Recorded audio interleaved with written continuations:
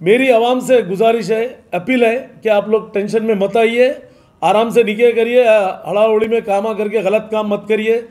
इधर बिल आ रहा, bill pass हो रहा है इक्कीस साल बोल के ऐसा कुछ भी नहीं है, अट्ठारह साल नीचे रहेगा इनशाला ये तो तीन साल का अभी कानून में है अभी।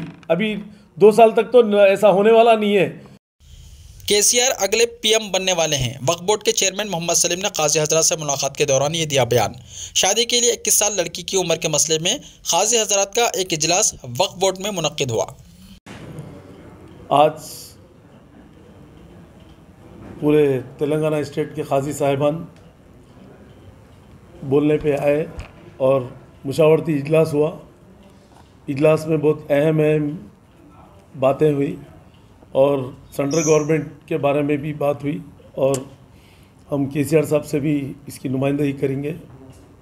क्योंकि के साहब चाहे तो जो है सेंटर में भी रुका सकते, क्योंकि पार्लियामेंट में बिल को रुकाने का काम के साहब ही कर सकते और दूसरी बात यह है कि अल्लाह चाहे तो जो है ये बिल पास नहीं होगा और अभी आवाम से भी मेरी गुजा, गुजारिश है कि आप लोग कोई हैबत में आने की ज़रूरत नहीं है, कोई खौफ में रहने की ज़रूरत नहीं है। आप लोग अभी पार्लियामेंट में बिल पास होना है, अभी उसके बाद राज्यसभा में होना है, उसके बाद में फिर प्रेसिडेंट के पास सिग्नेचर के लिए जाना है। उसके बाद में जो है, फिर भी उसके बाद भी दो साल का टाइम रहता। इमीडिएट कानून मुसलत नहीं कर सकते, वो नहीं रहता ऐसा। आप लोग कोई टेंशन लेने की ज़रूरत नहीं है, ये दो तीन साल तक तो बेफिक्री अल्लाह चाहे तो। और अल्लाह के करम से जो है, ये कानून का बिल वापस होना ही होना है किसी हालत में। क्योंकि इस्लाम में जो है ना, बालिग होने के बाद इमीडिएट करना बोल के जो है, कुरान का, इस्लाम का कानून है, अल्लाह का कानून है, सरकार, दो आलम, हज़रत मोहम्मद मुस्तफ़ा सल्लल्लाहु अलैहि वसल्लम का कानून है कि इस्लाम को जो है, कोई झुटला नहीं सकता इसको। क्योंकि अब कुरान और हदीस में जो है कि जो है ना, बच्चा बालिग होने के बाद, बच्चा हो या बच्ची हो इस्लाम में झटपट निकाह होना बोल के रहता। फिर भी जो है ना अट्ठारह साल हमारी इंडिया की गवर्नमेंट कानून बनाई तो उसको फॉलो कर रहे सब लोग। अब उसके बाद में आप बोलेंगे, इक्कीस साल को फॉलो करो, बोले तो जो है ना, बच्चियाँ हो या माँ बाप हो, बच्चियों के जो है ना, गलत उसमें जो है ना, परेशान हो जाते हैं और बच्चियाँ जो है, गलत रास्ते पे चले गए स्टूडेंट्स वगैरह कुछ भी तो ये बहुत गलत बात हो जाती। बालिग होने के बाद शादी करना कंपलसरी है। और तीन साल और रुका के जो है ना इक्कीस साल में करो बोले तो वो माँ बाप पे बोझा रहता हो, क्योंकि माँ बाप चाहते कि बच्ची जल्द से जल्द निकाह होना फिर अपने अपने घर से जो है ना, अपना घर बसा लेना बोल के रहता, अपने ससुराल में रहना मतलब अच्छे से अच्छा बच्ची जो है ना अपना हस्बैंड के साथ ज़िंदगी गुजारना बोल के हर किसी को ये रहता, हर माँ बाप को रहता है। करोड़पति भी रहो, रिक्शे वाले भी रहो, गरीब भी रहो, सबकी ख्वाहिश ये रहती कि जो है बच्ची की शादी जल्दी हो जाना, अपने अपने घरों में, अपने अपने ठिकानों पर रहना बोल के रहता।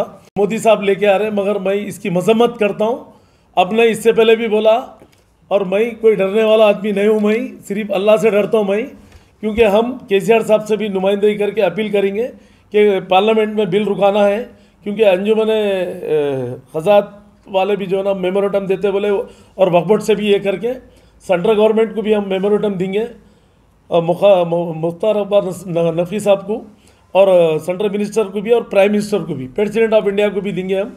और हमारे के साहब के थ्रू करेंगे काम ये हम ये, और अल्लाह चाहे तो ये बिल वापस लेने का काम पूरा करेंगे। और बिल आ रहा भी तो जो है ना, तीन साल तक कुछ होने वाला नहीं है। ये सेशन में तो नहीं आता। अभी तो सब कमेटी को भिजाए लोग। सब कमेटी से पार्लियामेंट को आना, पार्लियामेंट में बिल पास होना, फिर राज्यसभा में बिल पास होना। फिर प्रेसिडेंट की साइन साइन होना, फिर गजट बनना। फिर गजट छपने के बाद में फिर जो है ना यहाँ पर आए तक दो, उसके बाद भी फिर दो साल का टाइम रहता अपने को। और परसों जी न्यूज़ में एक आया कि मतलब मुस्लिम और क्रिश्चियन को छोड़ के सब गलत बात है। सबके लिए कानून बना तो एक रहता सबके लिए। हिंदू, मुस्लिम, सिख, ईसाई, सब के लिए एक कानून है। ये सब बेकार बातें हैं ये। और मेरी आवाम से गुजारिश है, अपील है कि आप लोग टेंशन में मत आइए, आराम से निके करिए हड़ाउड़ी में कामा करके गलत काम मत करिए। इधर बिल आ रहा, बिल पास हो रहा, इक्कीस साल बोल के ऐसा कुछ भी नहीं है अट्ठारह साल नीचे रहेगा इनशाला ये तो तीन साल का अभी कानून में है अभी। अभी दो साल तक तो ऐसा होने वाला नहीं है। उसके बाद भी बिल वापस कराने का काम पूरा करेंगे हम इंशाल्लाह ताला। सुने अब तो मेरी एक ही गुजारिश है कि इसमें कोई घबराने की, परेशानी की कोई ज़रूरत नहीं है। अल्लाह चाहे तो हम लोग सब मिलके जो है ना टीम वर्क करके, खाजी साहिबान की सपोर्ट और हमारी और पूरे एमआईएम और हमारे सीएम साहब की सपोर्ट से जो है ना, हम लोग दिल्ली में भी रुकाने का काम पूरी तरीके से करेंगे इन ताला। क्योंकि ये मामले के अंदर सब एक प्लेटफॉर्म पे आना है।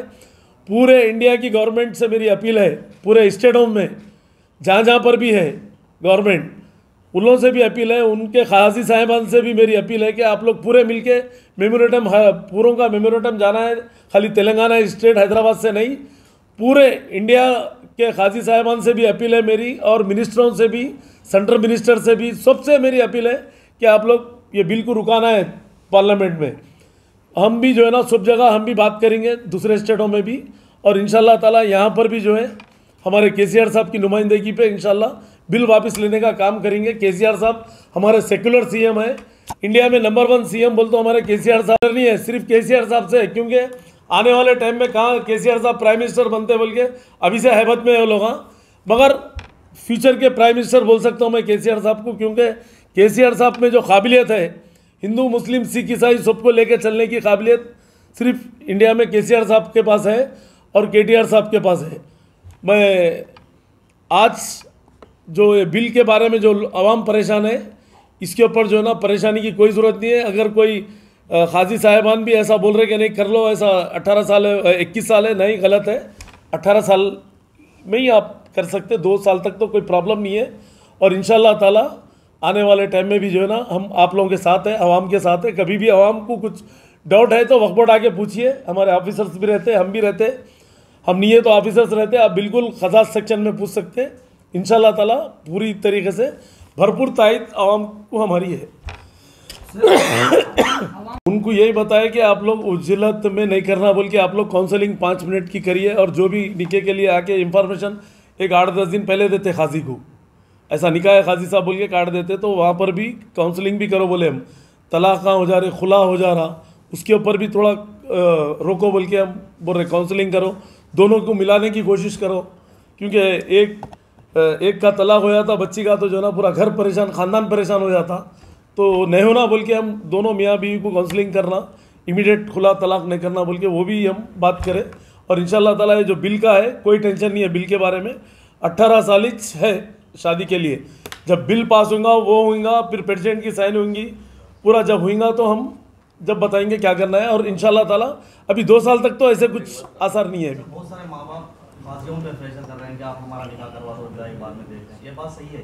हैं वो भी है, मगर नहीं करना है। उसलिए तो मीटिंग रखे आज। अब खाजी साहिबान बोलने के बाद, हम बोलने के बाद अगर कर रहे तो माँ बाप की मर्ज़ी की बात है। उसमें आप, हम कोई भी कुछ नहीं कर सकते। जल्दबाजी अगर माँ बाप करना चाह रहे तो अपन कुछ नहीं कर सकते। अपना काम है, बोलना है होशियार करना है। होशियार कर दिए अपन। दो साल तक तो कोई ऐसा प्रॉब्लम नहीं है। आराम से कर सकते हैं।